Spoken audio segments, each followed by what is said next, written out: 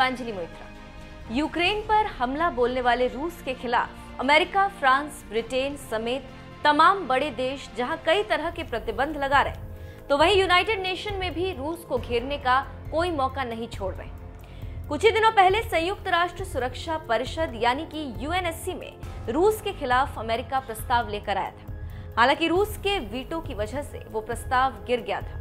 और अब बुधवार को संयुक्त राष्ट्र महासभा, यानी यूएनजीए में निंदा प्रस्ताव लाकर रूस को घेरने की कोशिश की जाने लगी। लेकिन इन दोनों ही मौके पर भारत ने ज़बरदस्त कूटनीति का परिचय देते हुए वोटिंग से दूरी बना ली। आखिर भारत ने ऐसा क्यों किया? देखिए हमारी ये रिपोर्ट।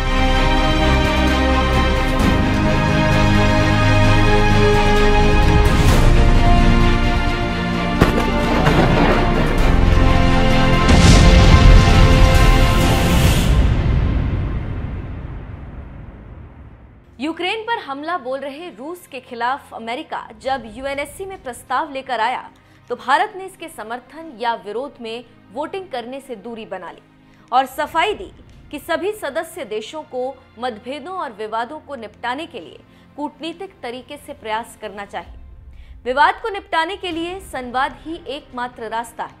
हालाँकि इस समय वो कठिन लग सकता है। ये खेद की बात है कि कूटनीति का रास्ता छोड़ दिया गया। हमें उस पर लौटना चाहिए। कूटनीति का रास्ता अपनाने की सलाह देकर यूएनएससी में रूस के खिलाफ आए प्रस्ताव से दूरी बनाने वाले भारत ने बुधवार को एक बार फिर बड़ा फैसला लिया।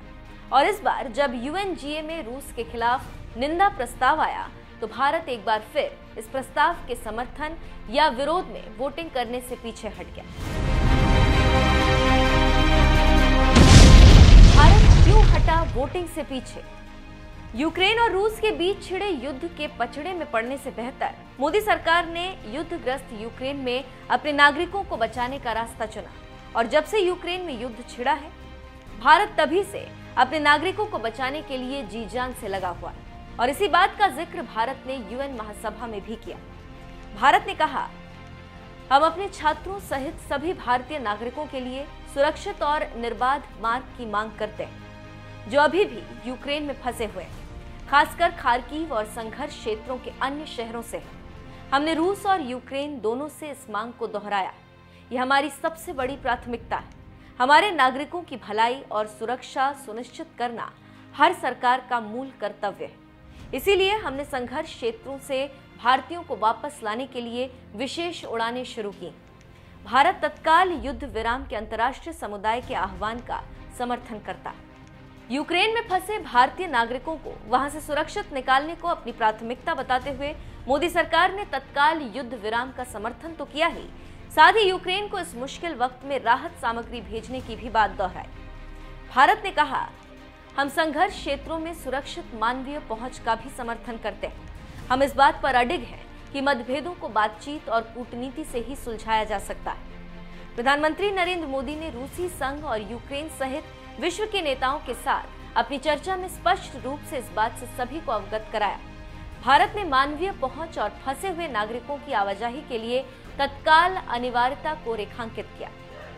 इसीलिए हमें पूरी उम्मीद है कि रूसी संघ और यूक्रेन के बीच दूसरे दौर की वार्ता के सकारात्मक परिणाम निकलेंगे। यूएनजीए में रूस के खिलाफ आए इस प्रस्ताव में रूस से अंतर्राष्ट्रीय मान्यता प्राप्त सीमाओं के भीतर यूक्रेन के इलाके से अपने सैन्य बलों को पूरी तरह से तत्काल और बिना शर्त हटाए जाने की मांग की गई। 141 देशों ने इस प्रस्ताव के पक्ष में मतदान किया, जबकि बेलारूस, उत्तर कोरिया, एरिट्रिया, रूस और सीरिया ने प्रस्ताव के विरोध में मतदान किया। और चीन, भारत, पाकिस्तान, दक्षिण अफ्रीका समेत 35 देशों ने मतदान में हिस्सा नहीं लिया। संयुक्त राष्ट्र महासभा प्रमुख अब्दुल्ला शाहिद ने मतदान नतीजों के बाद कहा कि ये प्रस्ताव अंतर्राष्ट्रीय समुदाय की यूक्रेन में हालात पर गंभीर चिंता दर्शाता है। मैं यूएन सदस्य देशों के साथ मिलकर नागरिक प्रतिष्ठानों जैसे कि आवासों, स्कूलों, अस्पतालों और महिलाओं, बुज़ुर्गों, विकलांगजन, बच्चों समेत हताहत आम नागरिकों पर हमलों की खबरों पर चिंता व्यक्त करना चाहता हूँ। आपको बता दें, रूस के खिलाफ यूएनजीए में आए प्रस्ताव के समर्थन में वोटिंग करने की बजाय भारत ने जिस तरह से वोटिंग से दूरी बनाई है, उसे देखते हुए ये माना जा रहा है कि वो अपने पुराने दोस्त रूस के खिलाफ नहीं जाना चाहता। और ये बात शायद यूक्रेन के राष्ट्रपति वोलोदिमिर जेलेंस्की भी अच्छी तरह से जानते हैं। इसीलिए उन्होंने कुछ ही दिनों पहले पीएम मोदी से गुहार लगाते हुए कहा था कि भारत से हमने सुरक्षा परिषद में यूक्रेन को राजनीतिक मदद देने की अपील की। हमें साथ मिलकर इस आक्रमण को रोकना होगा। हालाँकि यूक्रेन के राष्ट्रपति जेलेंस्की की इस अपील का भारत पर कोई असर नहीं पड़ा और बुधवार को भारत ने यूएनजीए में रूस के खिलाफ आए प्रस्ताव पर हुई वोटिंग से ही खुद को दूर कर लिया। भारत के इस रुख पर आपका क्या कहना है? अपनी राय हमें कमेंट कर ज़रूर बताएँ। साथ ही बुधवार को पीएम मोदी ने एक रैली में यूक्रेन में जारी हमले पर क्या कुछ कहा था, आइए आपको सुनाते भाइयों बहनों आज दुनिया में जो हालात बने हैं, वो आप देख रहे हैं। ये भारत का बढ़ता सामर्थ्य ही है कि हम यूक्रेन में फंसे हमारे देश के नागरिकों को वहाँ से सुरक्षित निकालने के लिए इतना बड़ा अभियान चला रहे हैं। ऑपरेशन गंगा के तहत कई हज़ार नागरिकों को वहाँ से देश वापस लाया जा चुका है। इस मिशन को गति देने के लिए भारत ने अपने चार मंत्रियों को भी वहाँ पर भेज दिया है। संकट में फंसे भारतीयों को ज़्यादा तेज़ी से निकालने के लिए हमारी सेना, वायु सेना को भी लगा दिया गया है।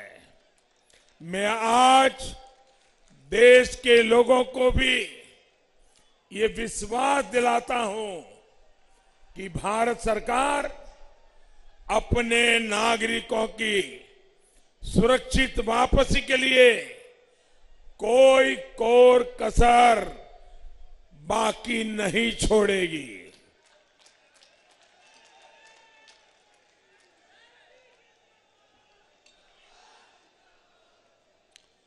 बदलते हुए समय में भारत को और ज़्यादा ताकतवर बनना ही होगा। भारत तभी ताकतवर बनेगा जब दूसरे देशों पर भारत की निर्भरता कम से कम होगी।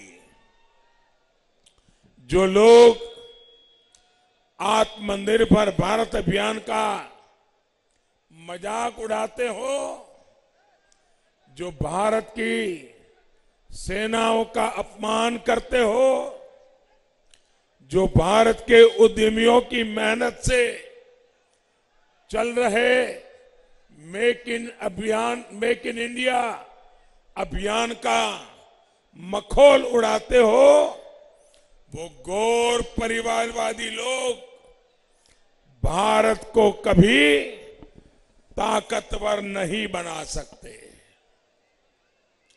ये वो लोग हैं जो भारत के अपने टीके के विरुद्ध अफवाह फैलाते हैं। भाइयों बहनों, आपको टीका लगा कि नहीं लगा? सबके सब लोग जिनका टीका लगा हो, जरा हाथ ऊपर करके बताइए, आपको टीका लगा कि नहीं लगा? हर एक को लगा कि नहीं लगा? आपको कोई खर्चा करना पड़ा क्या? आपको जेब में से एक रुपया निकालना पड़ा क्या? भाइयों बहनों, ये लोग ऐसे हैं जिनको टीका हम लगवाने के लिए लोगों के साथ जुड़ते थे, उसमें भी मुसीबत होती थी। ये वो लोग हैं जो हमारी सेनाओं के पराक्रम पर सवाल उठाते हैं। इन लोगों को क्या उत्तर प्रदेश के लोग वोट दे सकते हैं क्या ऐसे लोगों को? ऐसे लोगों को वोट दे सकते हैं। साथियों, भारत का सबसे तेज टीकाकरण अभियान या 80 करोड़ से अधिक देशवासियों को मुफ़्त राशन की व्यवस्था, दुनिया ये जब सुनती है ना कि 80 करोड़ लोगों को करीब करीब दो साल से मुफ़्त राशन पहुँचाया जा रहा है, ये आंकड़ा सुनकर के ही दुनिया के लोग चौंक जाते हैं। उनके देशों की संख्या से भी अनेक गुना ये लोग हैं जिनको आज भारत उनका घर का चूल्हा जलता रहे। मेरी गरीब माँ के बच्चे भूखे न रहे, इसके लिए दिन रात काम कर रहा है भाई लेकिन इन गौर परिवारवादियों ने कदम कदम पर भारत का अपमान करने में कोई कसर नहीं छोड़ी है।